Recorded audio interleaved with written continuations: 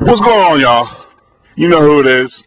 Mr. Wormack, aka Low Rent, aka The Ignorant American, aka The Truth As You Know It, aka Dirty Business, aka The Jet Jaguar of YouTube. Hey man, it's Mr. Wormack. I'm definitely back in the building. You know what I do. I'm here to give you the old one-two with the video thing. So if you don't like it, you can leave.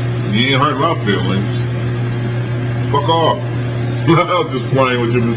Well, some of y'all can. Uh, little nasty grams over here. Some of y'all can beat it. But uh, back in the building. Today we're going to talk about the Supreme Court and the gay marriage thing.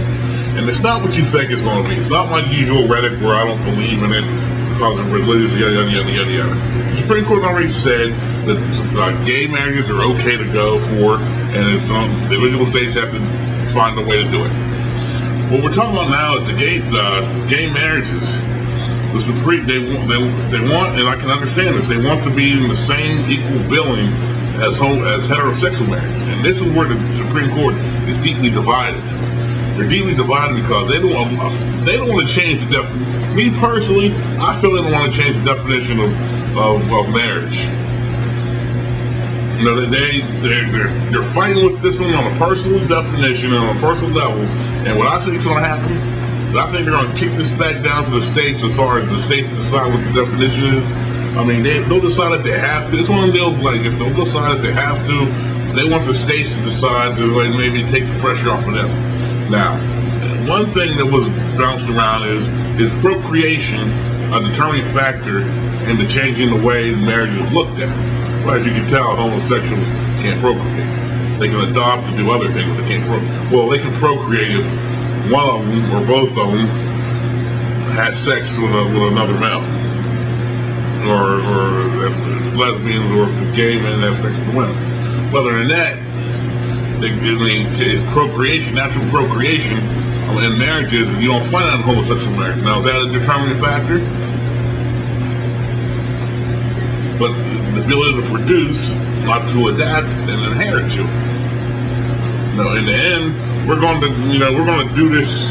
You got to do it the right way. Me personally, I don't think you should change. Look, if I didn't think you should, you know, let them marry for religious reasons, which hey, it's none of my business, but I don't think you should change the definition of marriage. You know, the debate is whether some gay couples should be, you know, they're, you know, should be like, like should should Frank and Bob marriage be compared similar similar to, you know, Dick and Jane's marriage? Well, I think Dick and Jane's marriage, it's, I think it shouldn't because it's not the same marriage. You know, it's, it's not like I think if I, if you compare a heterosexual marriage to another heterosexual marriage, that's good and dandy, but you can't compare a homosexual marriage. That's like you're to compare apples and oranges now. It's not, it's not, it's not the same. The only, the only the similarities is they're all people with heartbeats. That's it. You know, and then you add to the fact that uh, now there's a debate whether uh, same-sex couples can, you know, can hinder their children's development, you know, more than straight couples. And this is going to the Supreme Court. You know, both sides agree to point the negative outcome of some, some, you know, of, of same-sex marriages about. Uh, uh, but it's, it's like a phrase point of view. That's that's what you're trying to say. Like some people have this feeling that like a gay relationship, marriage, can hurt their children's feelings or hurt their children's development. I can see that to a point, but like I said, if, if, if one of my friends had like like two dads or two moms, I mean, to me, it's like he's still my friend. They wouldn't, you know, they gonna they gonna say, "Hey, Bob, you know." How's, how's your dad and his and his wife? You know, I wouldn't, I wouldn't mess around like that because that's my friend. But uh, now they have some, they have, they have some prominent studies showing where this does hinder some development in kids, like as far as social development.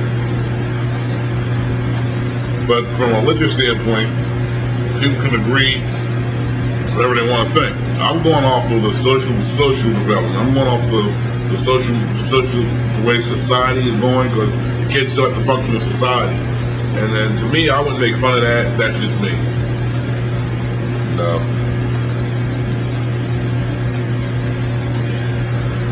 No. I'm I'm gonna stop here because, like I said, I got other things to do. But this is, I want you guys to be alert. And I just jumped a little tidbit as far as you know, the damn marriage thing. All right, catch you guys later. Peace.